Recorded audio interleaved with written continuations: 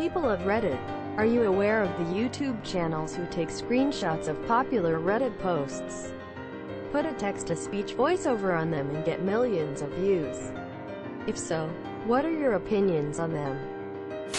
I had no idea this was a thing until I got a PM from someone who had seen a post I made on one of those videos and asked me if I knew about it. I was a bit nonplussed. But on the other hand, it's not like Reddit is a private forum, either. I got a PM from someone who had seen an old comment of mine on one of those videos and thought they might know me IRL. They used a throwaway for the PM and I still have no idea who they were. Wasn't particularly pleasant. Were you nonplussed? I was wee plussed. My roommate listens to them every day and he will undoubtedly listen to this one when it is uploaded. He also conveniently goes by his first initial. So he'll say hi, T. If you hear this, it's your turn to take out the trash. I am also here to say hi T. I hate tea, but I love coffee. You take that back right now or the entire Commonwealth will descend upon you. They've slowly downgraded and questioned quality to something like what is your NSFW La Sexy accident? Involving La Sexy sex. They add anime girls in the picture too, mostly in lewd positions or clothing. Danganronpa sub was pissed for a bit. Out of the loop on that.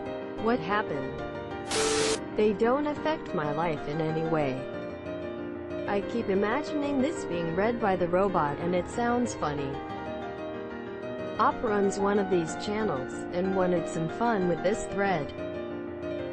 R. Conspiracy. Some of them are good and have nice reactions but mostly it's stupid. Edit. However a lot of people don't use Reddit and maybe that bring them to us. That's actually the reason I'm here. Stop looking at text-to-speech but I still look sometimes to the human ones when I'm not in the mood of reading. Yeah, the people who do actual voiceovers find the best posts. It's not that they're the best posts. It's just the fact they put more effort, and do funny voiceovers. Rather than pump out tons of text-to-speech crap for YouTube money. Sorrow TV does it pretty well emo. The others with just text-to-speech voices are a different story. And I enjoy Suithouse. E-A-T-P-A-N-T. I consist on diet of pant. I like Reddit aliens sounds like a real person and he normally covers out their topics. Microsoft American Male TTS Try me. The text-to-speech ones are so annoying. The humans who spend a couple of hours making quality content are good though. Yeah the voice always makes TLDR sound like TL Doctor. That voice made me hate the word popcorn. I've listened to ones about movie theater employees of Reddit, or Reddit posts about bad dates where some of them went to the movies. I heard that word so many times and the voice emphasized the first P and the C so sharply that it made me almost rage. I asked if they wanted popcorn. They said no butter on their popcorn. I told them our popcorn was pre-buttered so if they wanted popcorn without butter they had to wait for a new batch of popcorn. Popcorn. Popcorn. Ah. Exploding head. Popcorn. I found out about Reddit from those videos. I hate the text-to-speech auto voice though. I hate that voice in all applications.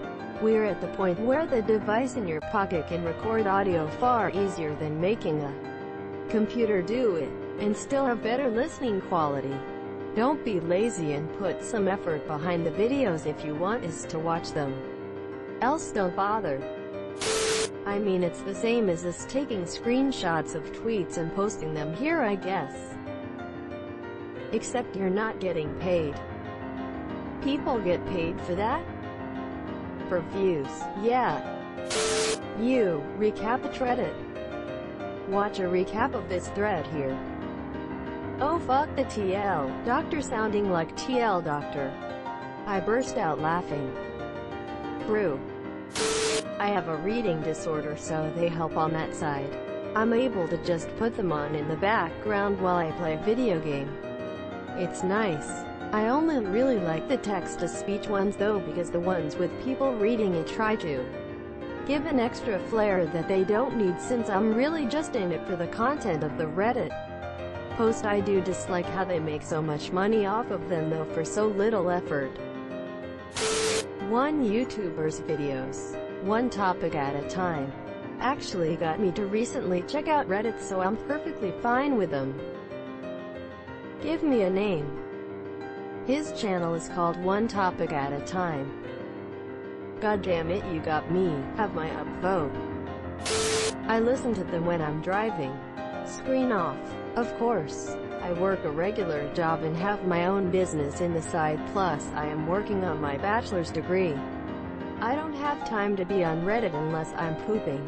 Spoilers. Driving. Screen off. Or while eating on my lunch to fill the silence. I kinda wish I could listen to fanfics in a similar way.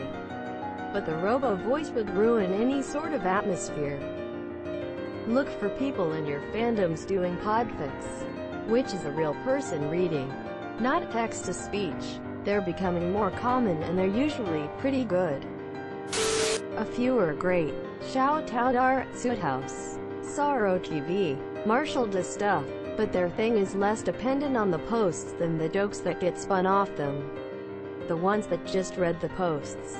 Or worse, the fucking TTS aren't worth my time. All I have to say is, hi YouTube.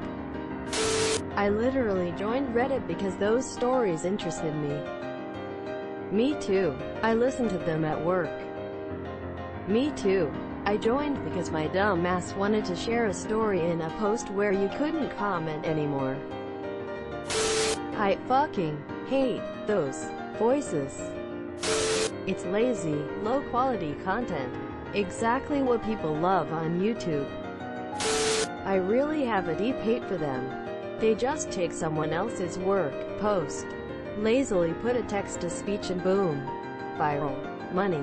They get money for doing absolutely nothing. They're not content creators. They are content thieves. Subscribe for more hot Reddit takes in your inbox, guaranteed.